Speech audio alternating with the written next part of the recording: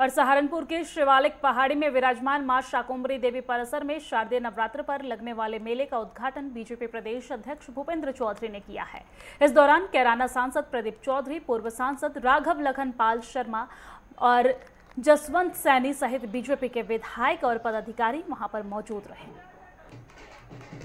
माँ शकुंभरी देवी मेले का उद्घाटन किया गया है। तस्वीरें आप देख सकते हैं। बीजेपी प्रदेश अध्यक्ष भूपेंद्र चौधरी ने इसका उद्घाटन किया है और उद्घाटन कार्यक्रम में बीजेपी के तमाम दिग्गज नेता मौजूद रहे।